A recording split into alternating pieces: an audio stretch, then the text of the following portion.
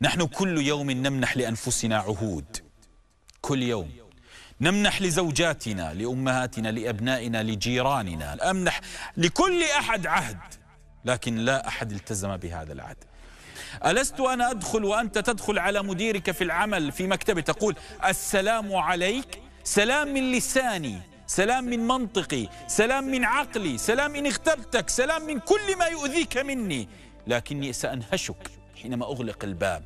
فعهدنا يا سادة مفقود. نعم مفقود.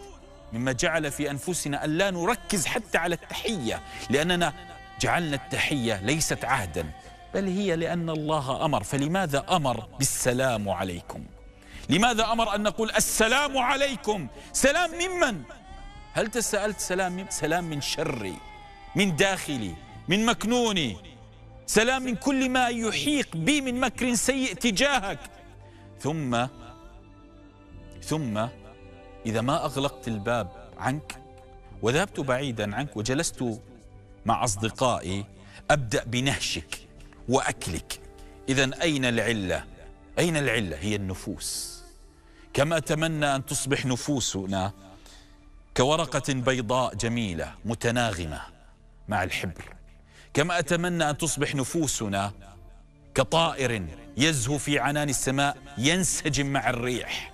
كم أتمنى أن تصبح تلك النفس كورق الشجر تتراقص مع الهواء وتعطي العهد للشجرة. ألا تسقط إلا إذا أصبحت مسمومة. لكن نحن للأسف نلقي العهود هنا وهنا. لكن لأنها تربية لسان لا تربية قلب. تربية لسان لا تربية عهد.